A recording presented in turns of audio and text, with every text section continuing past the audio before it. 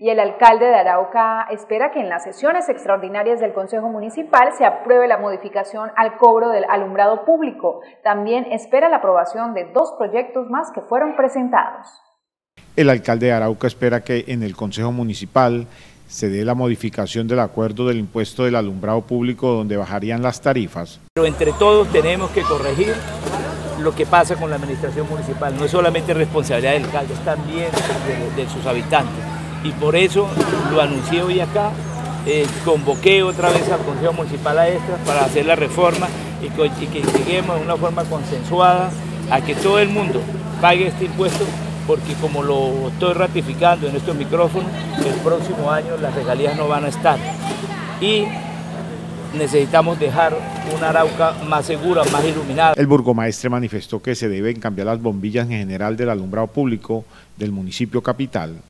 Sobre todo que nos piden la modernización del alumbrado público por las últimas resoluciones de la CREP, donde tenemos que cambiar de sodio a luz LED. Yo lo vengo haciendo como alcalde, estoy impactando la avenida Olaya Herrera o la carrera 20, allí el alumbrado público va a quedar con luz LED y luz solar, porque si vamos a hacer historia, cuando entró IVA hace 15 años, a ellos les exigieron la modernización de ese entonces, que era de luz de mercurio a sodio.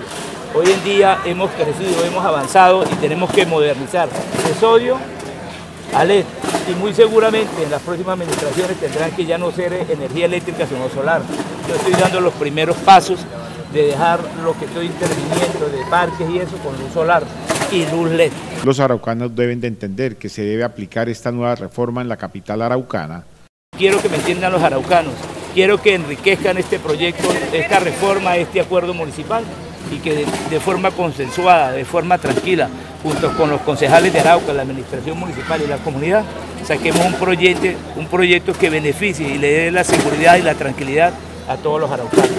Se estudiarán dos nuevos proyectos como la adición al presupuesto. Así es, presentamos una adición al presupuesto por, por casi 40 mil millones de pesos, donde van a ir unos proyectos importantísimos para Arauca. Por ejemplo, la terminación de los cuartos fríos del frigomatadero de Arauca. También se están dejando unos recursos para diferentes vías en el municipio de Arauca, como es uh, un mejoramiento de la malla vial en, la parte central de Arauca, en su centro de Arauca. También estamos dejando unos recursos para acá, para Costa Hermosa, de los 3 mil millones de pesos. Por último, aseguró que la compra de algunos terrenos es un requerimiento que hizo Corporinoquia.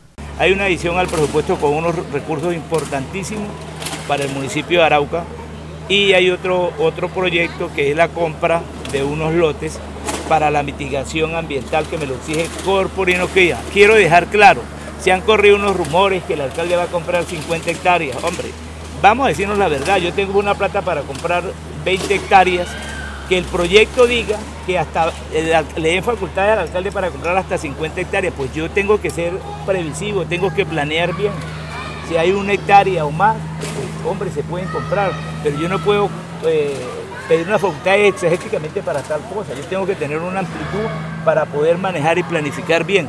Este proyecto, le digo a la comunidad, que es un requerimiento que hace Corporinoquía, que aquí no hay mafias, que aquí no hay amigos dentro de este proyecto, que Benjamín Socadawi lo único que quiere es cumplir con los requerimientos que me hacen las diferentes corporaciones que tienen estos controles y que no sé ni quiénes y ni cuáles son los lotes que vamos a comprar, vamos a entrar porque son para mitigación del medio ambiente y tienen que ser áreas que estén, que no puedan cultivar, tienen que ser áreas que queden cerca de nuestro río Arauca. En seis días se conocerán si los concejales de Arauca aprueban los tres proyectos que fueron enviados por la administración municipal.